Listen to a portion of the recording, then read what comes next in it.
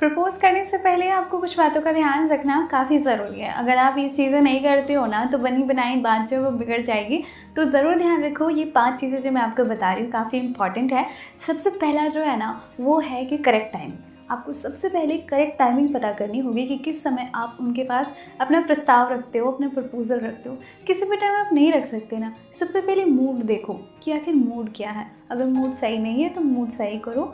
Just आप उनके जब वो खुश रहती हैं, तब आप प्रपोज़ल रखोगे तो काफ़ी अच्छा लगता है। किसी के सामने प्रपोज़ल रखने से पहले आप ये चीज़ ज़रूर देखें कि उनका मूड कैसा है। अगर मूड सही नहीं है, सही करना, अच्छे से उनको खुद खुश करना और खुश करने के साथ साथ ही आप उनकी फीलिंग्स को समझो कि वो आपसे क्या चाहती है। आप इतने लंबे समय तक किसी के साथ हो पहले उनको जान रहे हो या हम अब उनको जानते हैं आप उसको जान रहे हो तो फिर ही आप उनको पता होगा कि उनको किस टाइप का प्रपोज़ल पसंद है। उनकी नेचर क्या है यार? नेचर वाइज भी, भी लोग प्रपोज़ल एक्सेप्ट करते हैं। सिंपल लड़कियाँ होती हैं कोई काफ़ी बिंदास लड़कियाँ होती हैं, कोई काफ़ी शाय टाइप की लड़कियाँ होती हैं, अब उनको किस टाइप का प्रपोज़ल पसंद है? ये चीज़ आप उनके साथ इतने लॉन्ग टाइम तक रहते हो तो आपको पता ही होगी तो उस तरह के प्रपोज़ल उनको ज़रूर दो तो वो ज़रूर एक्सेप्ट करेगी।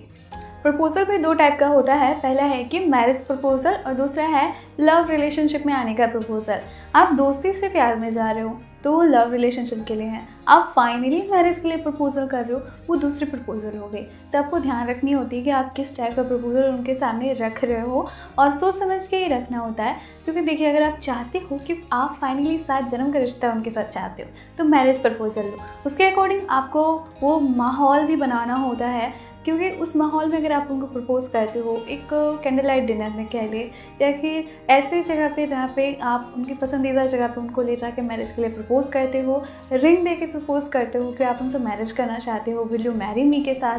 ऐसी सारी चीज़ें होती हैं ये मैरिज प्रपोज़ल के लिए।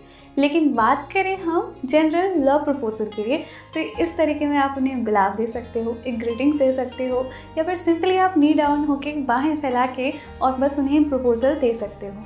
नी डाउन होने का मतलब है कि आप भीख नहीं मांगना देखिए कई बार ऐसा होता है ना कि आप नी डाउन होते हो तो बहुत सारे लोगों पे ईगो को हट होता है ये गलत बात है। और आपको पसंद है तो आप करो लेकिन हाँ नी डाउन होने का तरीका जो है ना कि अपने घुटनों पे आके जब उनसे आप प्रपोजल कर, करते हो तो फिर वो सारी ज़िंदगी आपके प्यार के बंधन में बंध जाती है। कि आप उनकी कितनी केयर करते हो और लड़कियों को वही खमंडे लड़के बिल्कुल भी पसंद नहीं होते, ये आपको बता दूँ। एटीट्यूड वाले पर्सन चाहे आप में कितना भी एटीट्यूड आप अपने अंदर रखो, दिखाओ नहीं, लेकिन लड़कियों को एटीट्यूड वाले लड़के बिल्कुल पसंद नहीं होते। जब आप किसी के सामने प्रपोजल रखते हो तो स्पेशल लड़कियाँ काफ़ी नखरे करती हैं। इतनी जल्दी तो मानने वाली है नहीं ना? काफ़ी समय ये होता है कि वो जो है, हमेशा ना में ही जवाब देती है। ना में जवाब देने वाली लड़कियों को हाँ में उनके जवाब को कैसे बदले? उनको टाइम लिमिट दे।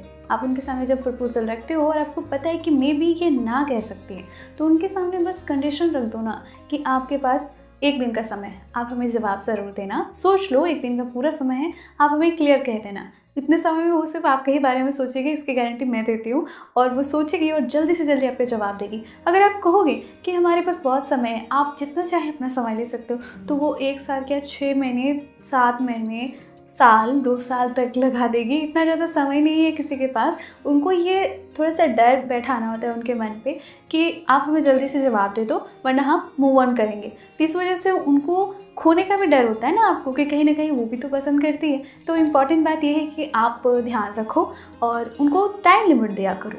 तो वो जल्दी हाँ बोलेगी। दोस्तों, ये वीडियो आपको कैसे लगी, ज़रूर से ज़रूर कमेंट बॉक्स पर कमेंट करना। और जी हाँ ये चीज़ें जो मैंने आपको बताई, ज़रूर इसको ध्यान में रखना। कमेंट बॉक्स पे अपना नाम ज़रूर कमेंट करें। और आपने कैसे प्रपोज़ल दिया था, ये हो सके तो ज़रूर कहना। थैंक यू सो मच और अपने लव कपल का नाम कमेंट बॉक्स पर ज़रूर कमेंट करें। Thank you